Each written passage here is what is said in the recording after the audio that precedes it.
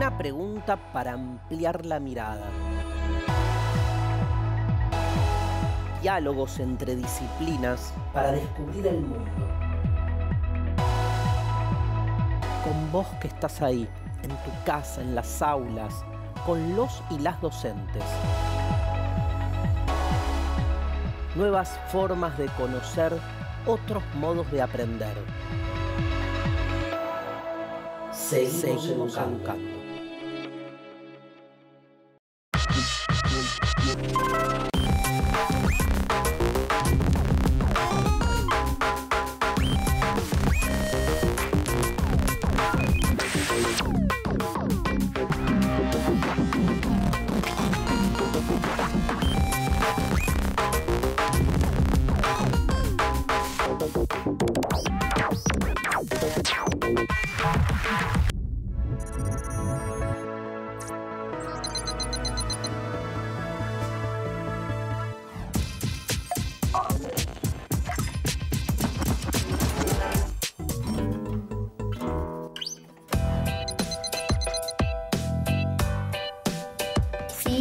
Principales componentes de la sangre son glóbulos rojos, glóbulos blancos, plasma y plaquetas.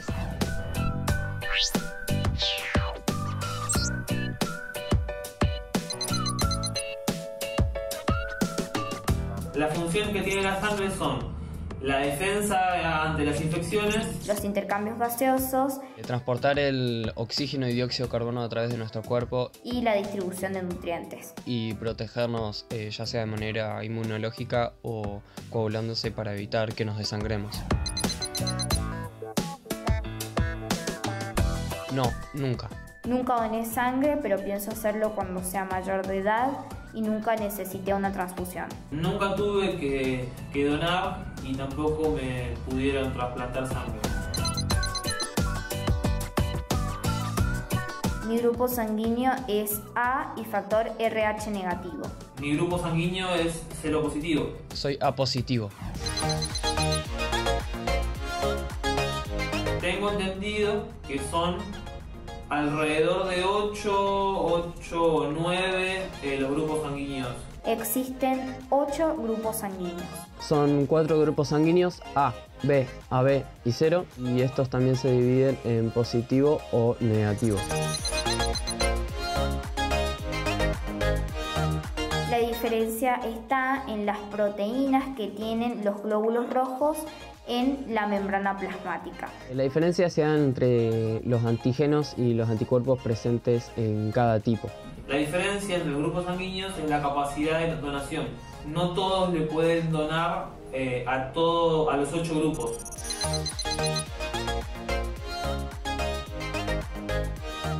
Tengo entendido que la donación de plasma se originó en Argentina con el propósito de curar y hacer pruebas contra la enfermedad del ébola. Pero hoy en día también se está usando para otro tipo de enfermedades como el COVID-19. Lo único que sé de la donación de plasma es que sirve para fabricar medicamentos o detener hemorragias y que como se regenera rápido la donación puede hacerse cada 15 días en algunos lugares. Bueno, se le extrae a la persona plasma y antes de eso se le hace un análisis clínico. Luego se procede a la extracción y se lleva al lugar donde se lo necesita.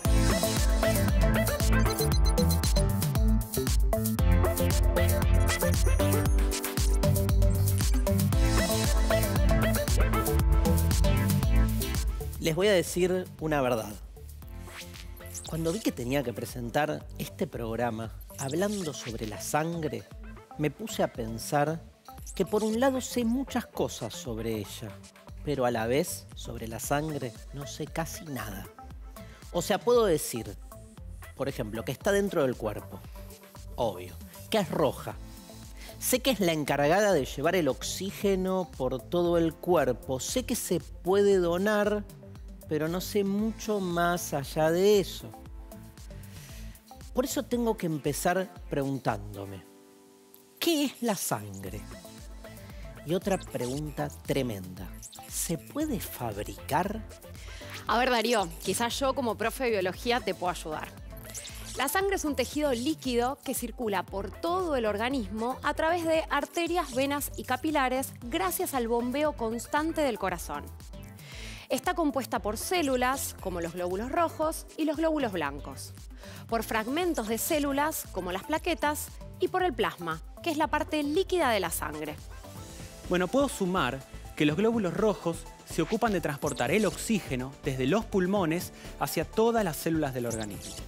A su vez, recolectan el dióxido de carbono y lo transportan hacia los pulmones para su eliminación. La proteína que interviene en el transporte de los gases se denomina hemoglobina y es de color rojo, lo que le da ese color a la sangre. Claro, el famoso rojo sangre, ¿no? Es que si fuera verde sangre sería extraterrestre y tendríamos que hacer otro programa. Malísimo. Bueno, bueno, por ahora nos quedamos con este. También existen los glóbulos blancos. Son los que se ocupan de la defensa contra los agentes invasores.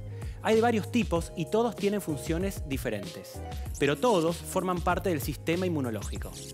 También tienen nombres diferentes y un poco difíciles. Tomen nota. Linfocitos, neutrófilos, eosinófilos, basófilos y monocitos. También están las plaquetas. Su función es ayudar en los procesos de coagulación sanguínea cuando tenemos algún corte o alguna lesión. ¿Y el plasma del que tantas veces se habla, Analía, qué es? El plasma es la parte líquida de la sangre y está conformado por agua, minerales, proteínas, vitaminas y hormonas, entre otras sustancias. Aproximadamente el 55% del volumen de la sangre corresponde al plasma y el 45% del volumen corresponde a los elementos formes.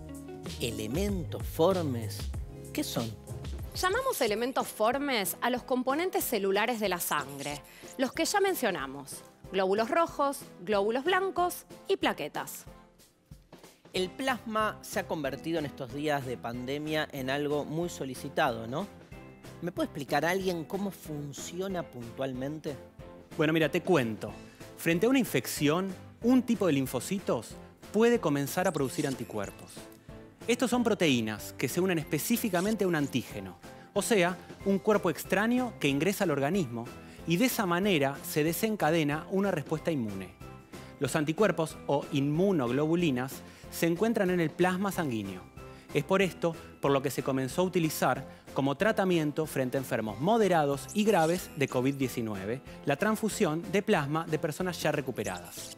Es decir, se le transfunde plasma de una persona curada de COVID-19 a una persona infectada, ya que este plasma contiene anticuerpos para atacar al virus y se produce el proceso del que hablábamos antes. Aunque es importante mencionar que este tratamiento aún está en etapa de ensayo clínico. La sangre, con sus componentes y sus funciones, son una muestra de la inmensa cantidad de procesos que realiza nuestro cuerpo humano. Y además, podemos donarla para salvar vidas. Un descubrimiento que sin dudas cambió la historia de la medicina y obviamente la historia de la humanidad. Según lo dispuesto por la ley 25.936 promulgada en el año 2004, se celebra el 9 de noviembre en todo el país el Día Nacional del Donante Voluntario de Sangre. La fecha coincide con el aniversario de la primera transfusión realizada en el año 1914. Esta primera transfusión se hizo usando como anticoagulante el citrato de sodio, según el método descrito por el doctor Luis Agote en Argentina. Luis Agote llevó adelante para el mundo nada menos y con éxito la primera transfusión de sangre indirecta el 9 de noviembre de 1914. La sangre como producto, digo, de, dar vigor, en definitiva como elemento vital, se conoció desde siempre. Pero eh, Agote lo que descubre es la posibilidad de hacerla entre comillas, esto incoagulable, colocándole una sustancia que es el citrato de sodio. y de esta manera se pueda almacenar para ser utilizada cuando sea necesario. La transfusión de sangre con citrato fue primero ensayada en animales y recién cuando estuvo establecida la inocuidad se hizo en seres humanos. Agote procedió a efectuar transfusiones a pacientes. La primera se llevó a cabo en el Hospital Rawson, en Buenos Aires, el 9 de noviembre de 1914, dando su sangre el portero del instituto, don Ramón Mosquera. El transfundido fue un paciente afectado de tuberculosis pulmonar y el resultado del acto fue tan favorable que convenció al equipo de Agote. El estudio del análisis sistemático de la sangre del enfermo en los días subsiguientes confirmó el éxito del procedimiento. Por eso Agote decidió hacer público su método ante la presencia de académicos, profesores y autoridades a menos de una semana de hecha la experiencia. En este caso, la paciente elegida fue una mujer anémica producto de una hemorragia aguda. Se le infundieron sin inconvenientes y en pocos minutos 300 gramos de sangre. Luego de tres días, la paciente restablecida pudo dejar el hospital. El doctor Luis Agote, consciente de la importancia de su descubrimiento, lo difundió con gran sentido humanitario a las delegaciones en Buenos Aires de los países beligerantes en la Primera Guerra Mundial, proponiendo su método para posibilitar las transfusiones a los heridos de guerra. Agote fue director del Instituto Modelo de Clínica Médica creado bajo su inspiración y docente en la Facultad de Medicina de la Universidad de Buenos Aires y en el Colegio Nacional de Buenos Aires. Además, en la década de 1910 fue diputado a los 26 años cargo que replicó dos veces más y luego fue senador por la provincia de Buenos Aires. Como fruto de su tarea legislativa se destacan la anexión del Colegio Nacional de Buenos Aires a la Universidad de Buenos Aires, la fundación de la Universidad de Santa Fe y la creación del Patronato Nacional de Ciegos. Además, un destacado escritor, tanto en los terrenos científico como literario e histórico. Entre muchas otras distinciones, Luis Agote fue nombrado profesor honorario de la UBA, miembro honorario de la Academia Nacional de Medicina y presidente honorario de la Academia de Bellas Artes. Desde 1914 hasta la fecha, los procesos para las transfusiones han evolucionado, pero siempre usando la base de aquel trabajo del doctor Agote. El mundo conoce su labor y las millones de vidas salvadas son el mejor agradecimiento.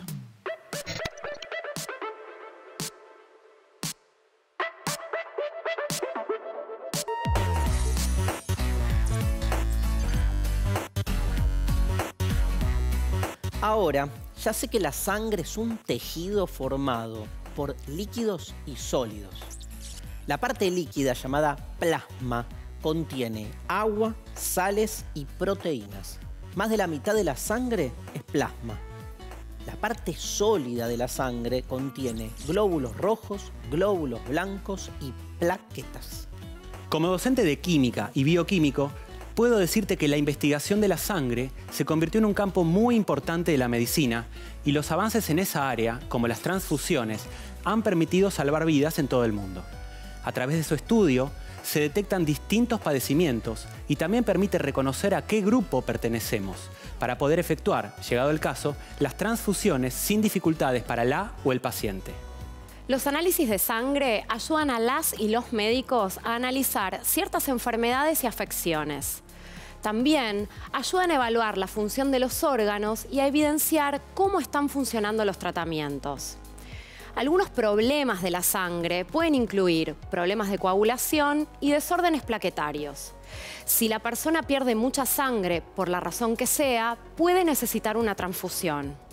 Y mientras tratamos de responder a la pregunta de este programa, que es si se puede fabricar la sangre, primero necesitamos saber qué es lo que hace y comprender su funcionamiento.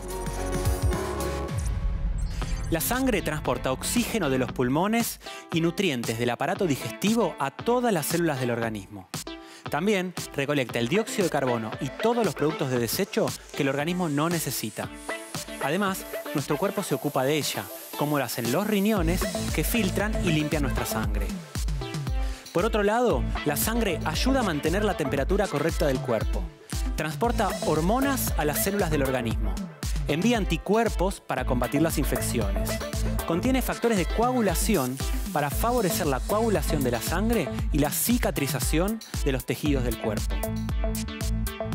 Con el tiempo y su análisis, se descubrió que la sangre posee grupos que se diferencian entre sí. Hay cuatro grupos sanguíneos.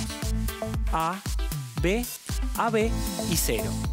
Los genes heredados, uno de la madre y uno del padre, determinan el grupo sanguíneo de una persona. Como las células que se encuentran dentro de los huesos producen los componentes de la sangre constantemente, el organismo típicamente puede reponer aquella que se escapa a través de una herida pequeña. Pero cuando se pierde mucha sangre a través de heridas grandes, esta debe reponerse por medio de una transfusión, o sea, sangre donada por otras personas. Para poder realizar una transfusión de sangre es necesario que los grupos sanguíneos del donante y el receptor sean compatibles. Las personas del grupo 0 se denominan donantes universales, porque pueden hacerlo a cualquiera, pero solo pueden recibir transfusiones de otras personas del mismo grupo sanguíneo. Los grupos sanguíneos se reconocen por unas moléculas que se encuentran unidas a la membrana de los glóbulos rojos. La presencia de estas sustancias determina el grupo sanguíneo y la compatibilidad a la hora de realizar transfusiones de sangre. Como decíamos, hay varios sistemas de grupos sanguíneos, pero los dos más importantes son el sistema AB0 y el sistema RH. ¿Cómo es el grupo AB0?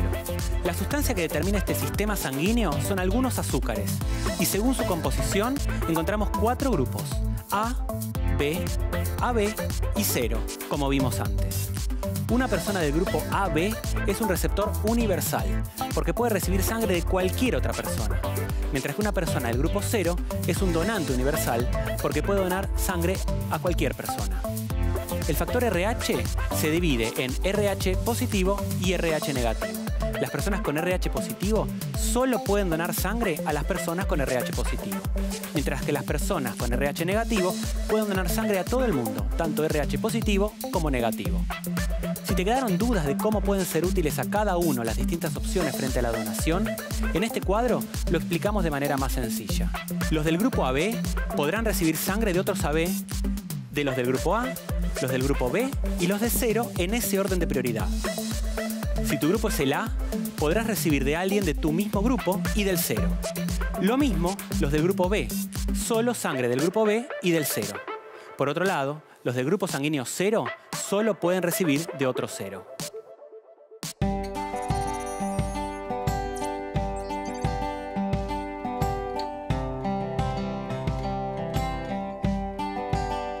Ya sabemos cómo funcionan las transfusiones, quién fue el pionero en su utilización y cómo los grupos sanguíneos nos permiten hacer todo el procedimiento sin contratiempos para que el acto de recibir o donar sangre no termine siendo un problema en lugar de una solución.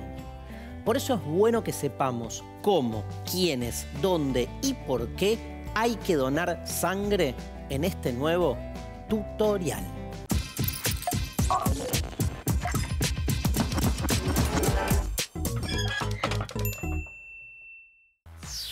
Antes de donar, lo primero es informarte bien. Hay muchos lugares donde hacerlo, como los hospitales públicos de todo el país. Si tenés dudas, podés ingresar a www.argentina.gov.ar barra salud. Ahí podés encontrar todos los lugares donde hacerlo. Si estás decidida o decidido a donar sangre, ten en cuenta algunas consideraciones y requisitos para hacerlo sin problemas. Tenés que estar descansado o descansada habiendo dormido por lo menos seis horas. Sentirte en buenas condiciones de salud, o sea, no tener síntomas de malestar general, fiebre, resfrío o tos. Debes desayunar o almorzar de forma habitual y tomar líquidos en abundancia, pero obviamente nada que contenga alcohol. Busca el centro de donación más cercano y consulta el horario y los días de atención. Recordá que no tenés que ir en ayunas. Concurrí al centro de donación con tu DNI y tenelo a mano porque deberás presentarlo. Vas a recibir información antes de donar. El personal del centro te va a explicar las situaciones de riesgo por las que no deberías donar y los estudios que se le harán a tu sangre. en caso de tener dudas o estar en desacuerdo, tenés derecho de autoexcluirte y no donar. Habrá también una calificación clínica. El personal de salud te entrevistará para ver si estás en condiciones de donar. Toda la información que brindes es confidencial. Se verificará tu peso, temperatura, pulso y presión arterial y se tomarán muestras de tu sangre para controlar que tus glóbulos rojos estén bien. Ten en cuenta que aunque no puedas donar sangre, siempre podés colaborar difundiendo entre tus amigos y familia la importancia de ser donantes voluntarios y habituales de sangre. Un buen dato para saber es que la extracción dura entre 7 y 10 minutos. Se realiza en un ambiente seguro y con material descartable se extrae solo una unidad de sangre de alrededor de 450 mililitros y pequeñas muestras para posteriores análisis. Después de donar, se te brindará un refrigerio a fin de recuperar líquidos y azúcar. Es importante que lo tomes antes de irte del centro de donación. Si no te sentís bien, avisa al personal del centro y no abandones el lugar. Te van a entregar un certificado de donación y un formulario de autoexclusión confidencial para que expreses tu voluntad de eliminar la unidad de sangre que donaste si consideras que por alguna razón no es segura.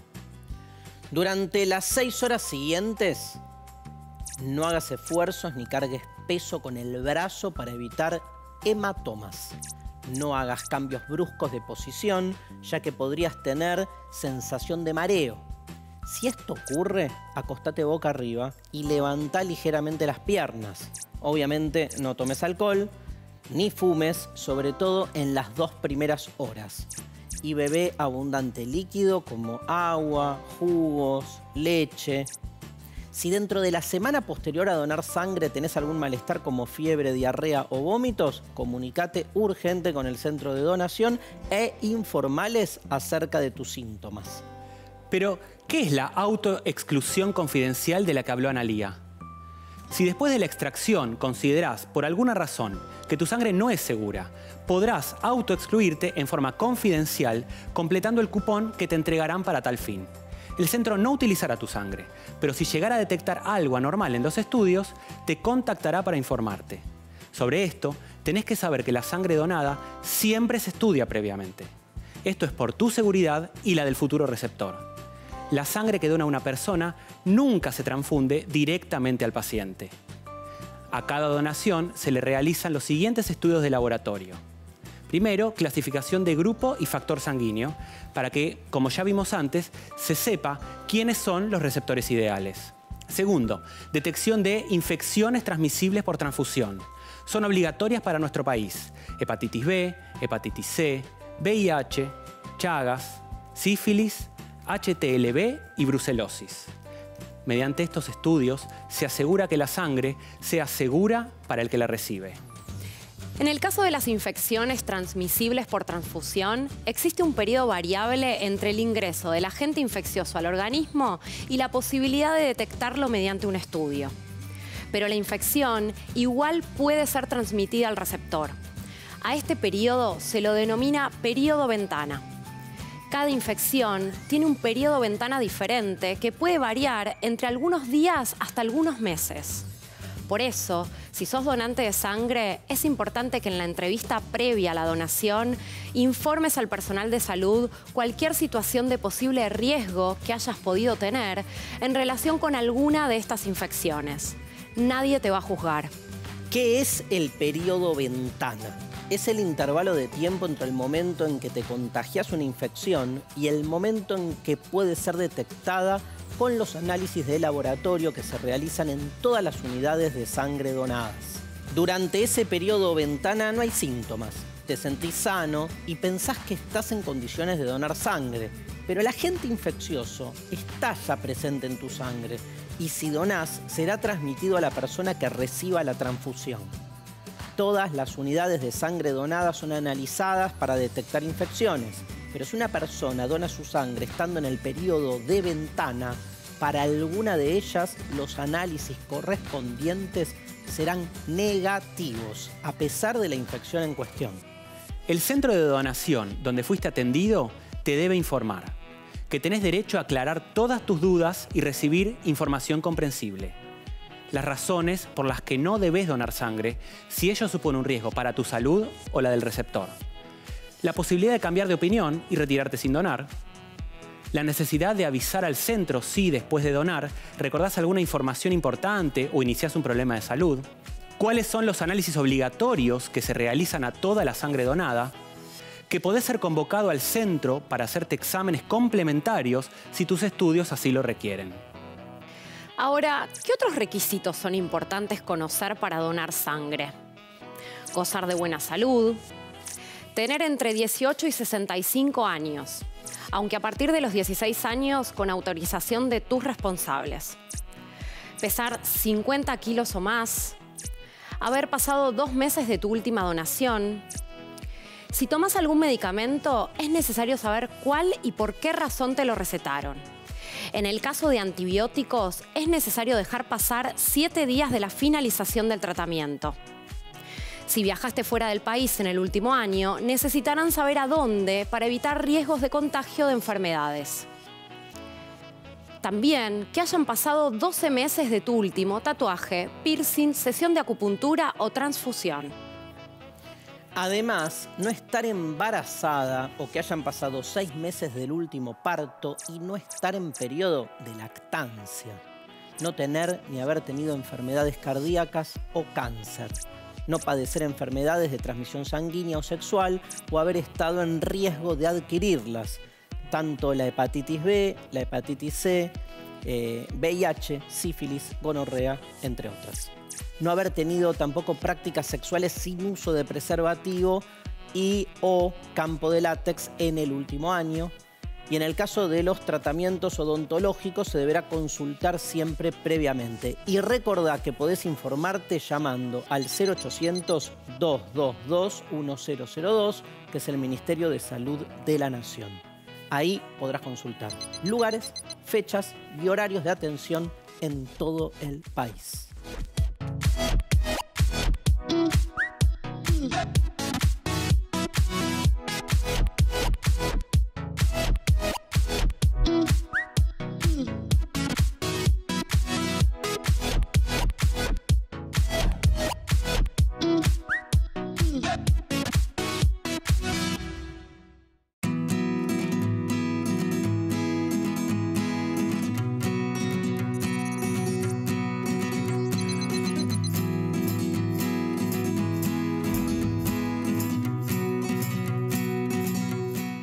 Donación de sangre en cualquiera de sus modalidades es un acto anónimo, voluntario y altruista. Y siempre se realiza bajo vigilancia de personal calificado. Pero además de la donación de sangre tradicional, existe la donación por aféresis, muy utilizada en momentos de la pandemia para extraer el plasma de la sangre. Efectivamente, la aféresis es una modalidad de donación de sangre en la que se separan desde un principio los diferentes componentes de la sangre, glóbulos rojos, plasma y plaquetas. Mediante una máquina, que básicamente es un separador celular, se apartan las plaquetas del donante y posteriormente se le devuelven por la misma vía de acceso los demás componentes, fundamentalmente los glóbulos rojos. El proceso se realiza con un solo pinchazo en la vena, en un circuito estéril, descartable, diseñado para garantizar la máxima seguridad, tanto para el donante como para el receptor. Todo el proceso dura aproximadamente dos horas. El producto final que se obtiene es el equivalente a una dosis terapéutica, es decir, que las plaquetas procedentes de una donación son suficientes para una transfusión. En cambio, en el caso de las donaciones de sangre convencionales, es necesario transfundir plaquetas de unas seis donaciones, es decir, de seis donantes diferentes.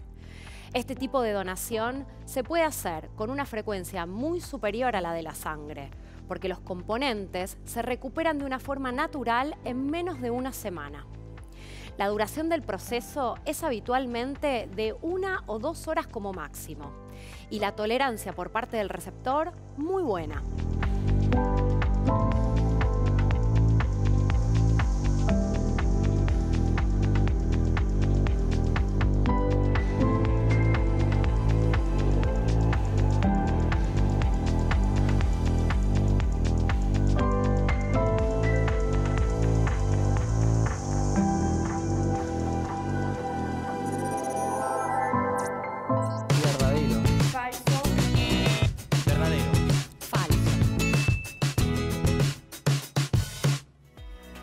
A ver, los bancos de sangre y o instituciones de salud condicionan la atención o intervención de un paciente si la familia no consigue donantes de sangre. Eh, es verdadero. Falso. Falso. El banco de sangre no puede condicionar el tratamiento o la internación a la cantidad de donantes que aporta la o el paciente. Pero sí es cierto que los bancos de sangre y su buen funcionamiento dependen de que todo el tiempo haya donantes voluntarios para contar con sangre disponible siempre. Por eso es necesario el aporte solidario de las y los donantes de sangre. No puedo donar sangre todas las veces que quiero. Es verdadero. No, es falso. Verdadero. Hay que esperar un tiempo prudencial entre cada donación. Se puede donar sangre con un intervalo mínimo de dos meses. ¿Es necesario, Analía, estar en ayunas para donar? Y sí, claro, verdadero. Falso. Falso. La idea es que desayunes normalmente y tomes abundante líquido antes y después de la donación. Debo ir preparado el día de la donación. Verdadero. Verdadero. Verdadero. Hay que estar descansado, concurrir con ropa cómoda, presentarse con DNI. Generalmente, luego de realizar la donación, se puede continuar con las actividades habituales. La sangre donada por una persona puede servir para cualquier otra. Y es falso. Falso. Falso. Cada una y uno de nosotros nace con un tipo de sangre, los grupos A, B, AB, 0 y el factor RH positivo o negativo. Y estos son los que se consideran para la búsqueda de sangre compatible. Por esta condición genética, nuestro organismo solo puede recibir la sangre de grupos compatibles. A ver, esta, ¿hay riesgos de infección o de contaminación cuando se dona sangre? Verdadero. Falso. Falso. El material que se usa para la extracción es estéril, descartable y de uso único. No se puede contraer ninguna enfermedad por donar sangre. Además, la donación se realiza bajo la supervisión médica y los procedimientos implementados buscan resguardar la seguridad tanto del donante como del receptor. Bien, por ahora con Analía, todas falsas me dieron. A ver esta. Muchas enfermedades se pueden transmitir por medio de la sangre. Esto es verdadero. Es verdadero. Verdadero.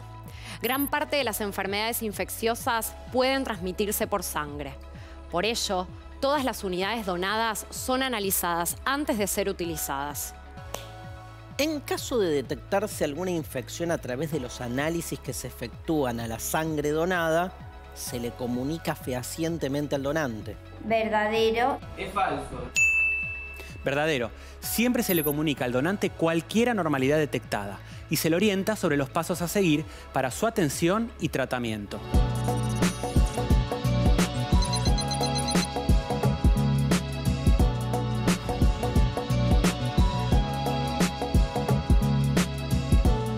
Mientras se habla de vacunas más o menos efectivas contra el coronavirus, se comenzaron a probar algunos tratamientos alternativos para ayudar a las y los pacientes enfermos. Si bien muchos son ensayos y pruebas, en nuestro país la utilización del plasma, como se hace con los pacientes que tienen fiebre hemorrágica argentina, ha dado resultados para facilitar su recuperación. Cuando una persona tiene una infección, su organismo reacciona produciendo anticuerpos para defenderse. Una vez que la persona se recupera, esos anticuerpos quedan almacenados en el plasma durante semanas o incluso años, como diciendo, ya te conozco, otra vez no me vas a agarrar de nuevo desprevenido. La terapia de transfusión de plasma de convaleciente se basa en que quien esté padeciendo la enfermedad reciba los anticuerpos que ya vencieron al virus en otra persona.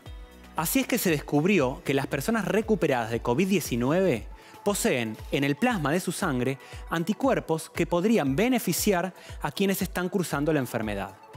No se ha demostrado hasta la actualidad en forma fehaciente la seguridad y la eficacia de este tratamiento. Por tal motivo, el Ministerio de Salud de la Nación comenzó un ensayo clínico nacional para evaluar los riesgos y beneficios de este tratamiento iniciando en la región metropolitana. A través de su gesto voluntario y solidario, las y los pacientes recuperados de COVID-19 estarán en condiciones de ingresar al ensayo clínico nacional, el que permitirá evaluar los beneficios de este tratamiento y de esta manera poder ofrecer una posible nueva alternativa para el tratamiento de los pacientes que están cursando con COVID-19.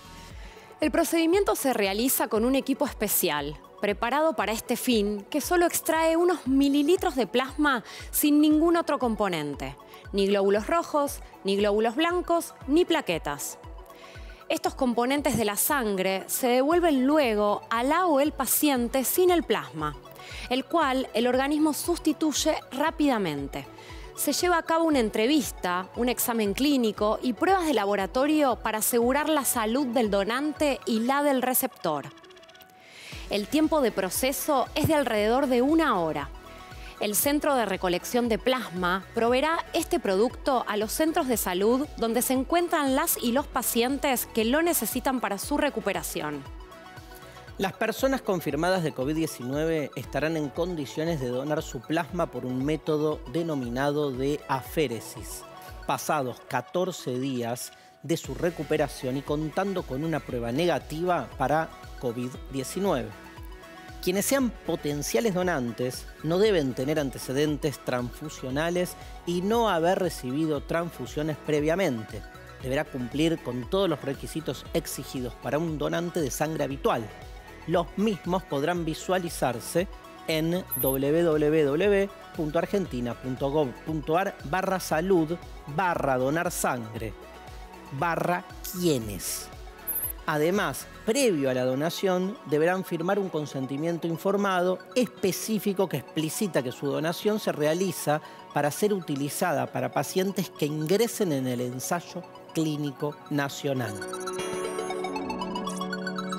Donar también es una cuestión de responsabilidad y saber algunas cuestiones personales sobre nuestra salud va a ayudar con los procesos, va a facilitar el trabajo de los centros de salud les daremos un breve listado de algunas enfermedades y dudas que pudieran tenerse para saber si pueden o no ser potenciales donantes. Mononucleosis. Si fue una mononucleosis simple, sin complicaciones, después de seis meses se puede donar sangre. Si hubo alguna complicación, se indagará más en el momento de la entrevista de selección antes de la donación de sangre. Hipertensión. Si la hipertensión está controlada y no hay ningún otro factor que lo impida, se puede donar sangre. Igualmente, no debe suspenderse la medicación para donar. Hepatitis A. El virus de la hepatitis A no se transmite por sangre. Sin embargo, esto será evaluado en la entrevista predonación. Será la o el profesional responsable quien definirá si puede donar o no sangre asma. Si la persona no está atravesando una crisis, se siente bien y la enfermedad está controlada, podría donar. Pero en todos los casos se recomienda consultar con la o profesional que le realice la entrevista previa a la donación. Epilepsia. Las normas permiten la donación de sangre de personas que están libres de síntomas luego de tres años de haber finalizado el tratamiento. Se aconseja consultar en el banco de sangre donde se quiere donar para que se evalúe la situación particular en el contexto de la entrevista predonación. BPH. El virus del BPH o virus del papiloma humano no es transmisible por sangre, por lo que sí se puede donar. ¿Puedo donar si estoy tomando alguna medicación? Las personas que están tomando antibióticos, anticoagulantes, medicamentos oncológicos o insulina no pueden donar. El resto de los medicamentos serán evaluados en la consulta predonación en función de la enfermedad para la cual se prescribieron y no por el medicamento en sí mismo. ¿Quién organiza la donación de sangre? La donación de sangre es un acto solidario y generoso que se realiza en bancos de sangre y o centros de hemoterapia habilitados por las autoridades sanitarias. Es responsabilidad de estas dictar las normas para proteger la salud de donantes y receptores. Los bancos de sangre son los que conocen la cantidad y tipos de componentes sanguíneos requeridos por su jurisdicción y son responsables de instrumentar los medios para asegurar su disponibilidad. La sangre no se fabrica, eh, la única manera de obtenerla es a partir de la donación. Eh, lo ideal es que el donante sea un donante habitual, que lo haga en forma periódica, eh, no para un paciente determinado. ¿Por qué es importante donar sangre? Las donaciones de sangre contribuyen a salvar vidas y a mejorar la salud. Mencionamos algunos ejemplos de personas que precisan transfusiones. Las personas con complicaciones obstétricas como hemorragias antes, durante o después del parto. Los niños y niñas con anemia grave. Las personas con traumatismos graves como por accidentes de tránsito. Pacientes que se someten a intervenciones quirúrgicas y médicas complejas y enfermos de cáncer. También se necesita sangre para realizar transfusiones periódicas en personas afectadas por distintas enfermedades. Por otro lado, también se utiliza para la elaboración de diversos productos, como por ejemplo los factores de coagulación necesarios para las personas con hemofilia. Existe una necesidad constante de donaciones regulares, ya que la sangre solo se puede conservar durante un tiempo limitado y luego deja de ser utilizable las donaciones periódicas de sangre por un número suficiente de personas sanas son imprescindibles para garantizar la disponibilidad de sangre segura en el momento y el lugar que se precise. La decisión de donar sangre puede salvar una vida o incluso varias si la sangre se separa por componentes, glóbulos rojos, plaquetas y plasma, que pueden ser utilizados individualmente para pacientes con enfermedades específicas. Yo tengo algo tuyo. Yo también tengo algo tuyo. Yo también tengo algo tuyo. Algo que me diste sin saber que era para mí. Si te llaman y podés concurrir, hacelo. Alguien lo está necesitando. ¿Dónde me puedo informar para donar sangre? Podés informarte llamando al 0800-222-1002, Ministerio de Salud de la Nación. Ahí podrás consultar lugares, fechas y horarios de atención en todo el país.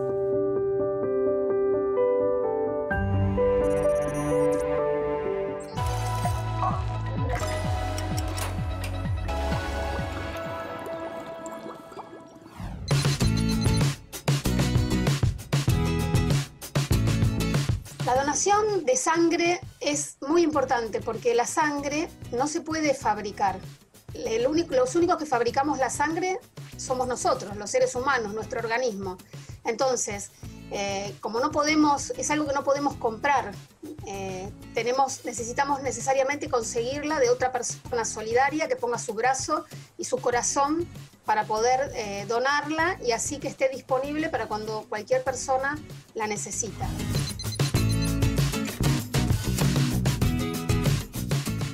Mucha información a las personas en general eh, sobre, sobre la donación de sangre. Necesitamos tener esa información para estar tranquilos y saber que tenemos que ir a donar sangre, porque es la única manera de obtenerla de otro ser humano. Entonces, la Organización Mundial de la Salud dice que 9 de cada 10 personas vamos a necesitar sangre durante nuestra vida, para nosotros mismos, para un familiar o un amigo.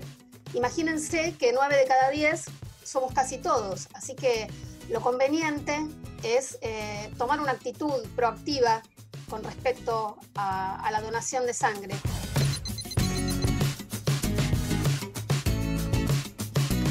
Hay muchos mitos sobre la donación de sangre, que me voy a debilitar, que voy a engordar, que me voy a adelgazar demasiado, que me voy a enfermar. Eh, todas esas cosas, como la palabra lo dice, son mitos, son cosas que son mentiras, eh, digamos, se arrastran eh, en el tiempo y uno se las cuenta al otro. Lo único cierto de esto es que donar sangre salva vidas. Así que con la información y con, saber sobre la temática, eh, vamos a haber zanjado todo eso.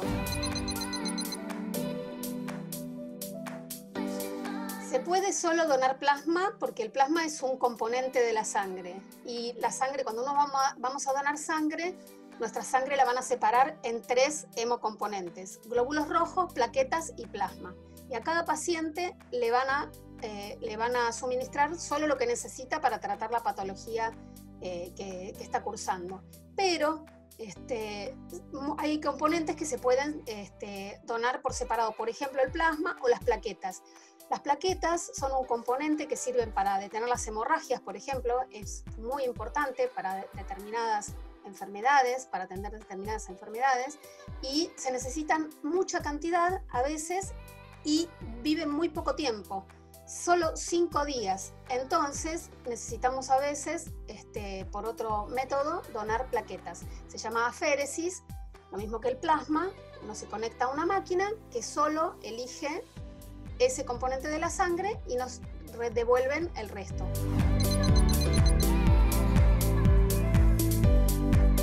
La sangre no se puede fabricar.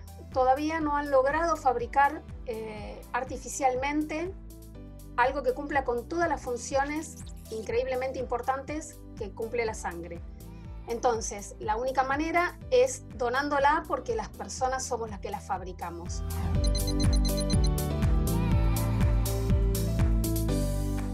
Todos lados se necesita sangre. Todos los centros de salud, los hospitales necesitan sangre en todo el país y en el lugar donde ustedes se encuentren tienen que averiguar eh, el servicio de hemoterapia en el hospital de la zona, eh, llamar, pedir un turno, ahora en épocas de pandemia pedimos un turno y vamos a donar sangre muy seguros porque nos van a cuidar muchísimo. Así que en todos los lugares del país necesitan de nuestra colaboración.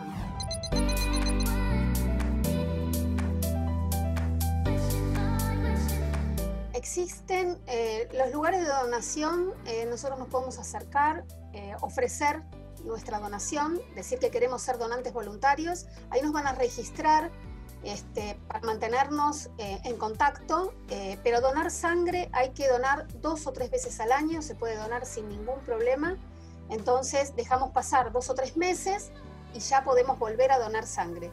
Eh, ese, ese, tiempo es para que nuestro organismo recupere todo todos los componentes que ha donado y, y estemos cero kilómetros como para volver a hacer nuestro aporte. Muchas y variadas son las campañas para incentivar la donación de sangre desde spots publicitarios en radio y televisión, videos en redes sociales o campañas gráficas en la calle y los diarios, hasta algunos más artísticos como juntar un buen par de buenos músicos y grabar una canción que ayude con la idea y sume así para llevar conciencia. Así fue como Patricia Sosa, dueña de una voz súper personal y reconocida, fue una de las citadas para cantar la canción oficial del Día Donante de Sangre. Me puse contentísima cuando me invitaron a grabar esta canción.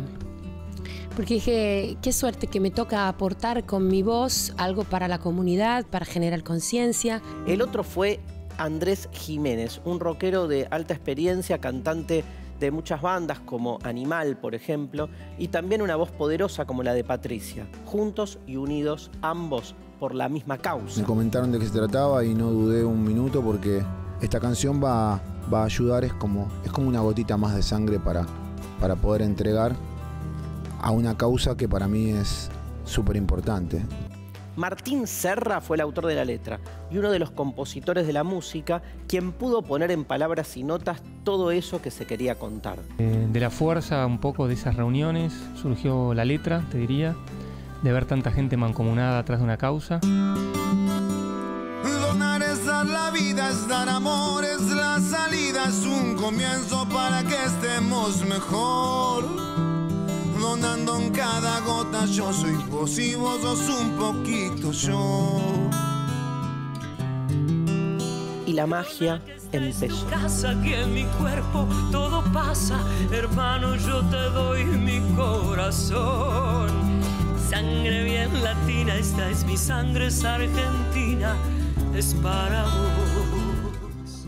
Y así como para donar sangre se necesita corazón, para cantar este tipo de temas hay que ponerlo también para transmitir todo lo que se quiere decir. a lo largo y a lo ancho en mi nación, con fuerza desde el centro de mi pecho, con la mano bien abierta, yo te canto esta canción.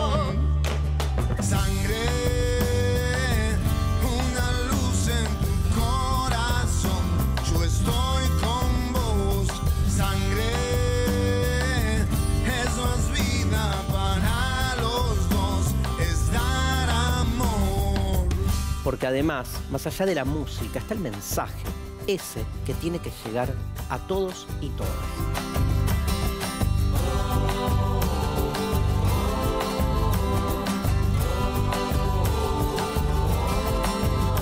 Seguramente algún familiar o amigo tuyo contó con la colaboración de un donante de sangre cuando estuvo enfermo o accidentado. Por eso la transfusión sanguínea es necesaria y juega un rol vital porque salva vidas. Sumate. Convertite en donante voluntario de sangre. Hay alguien que te necesita. Donar es dar la vida, es dar amor, es la salida, es un comienzo para que estemos mejor.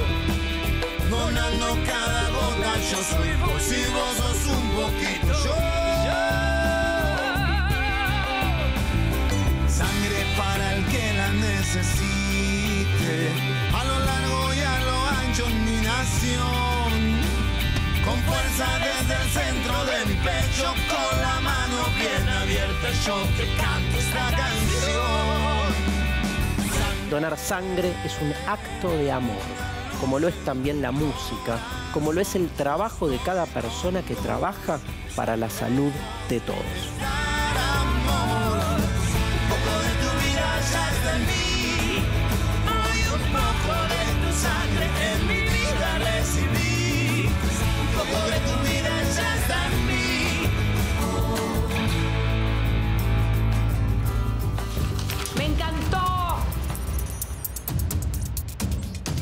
Es imposible hablar de donación si no hablamos de sangre, de cómo se compone ella y cómo se utiliza razonablemente cuidando a todos. Aunque suene lógico, la sangre es un elemento vital para el humano y también desde hace tiempo para la supervivencia de éste, cuando las enfermedades o los problemas de salud así lo requieren. Más allá de eso, nos quedó pendiente la pregunta de si se puede fabricar sangre y la respuesta es contundente. No. Sí, Darío, mira. También se puede hacer así. Sí, eso además de pasar en las películas malas de terror. No es lo que yo preguntaba. Me refería a sangre que reemplace realmente a la sangre verdadera. No, la sangre es irreemplazable. Por eso es tan importante donarla. Al igual que el plasma y las plaquetas. Y no solo hay que hacerlo, hay que fomentar a que otros se sumen. Algunos de sus componentes se pueden reemplazar, pero no es lo mismo. Por eso se necesita sangre. Por eso se necesita del acto voluntario de la donación. Hubo y hay intentos de fabricar algunos componentes separados, pero lo importante es la sangre en su conjunto, como sistema, como un todo integrado.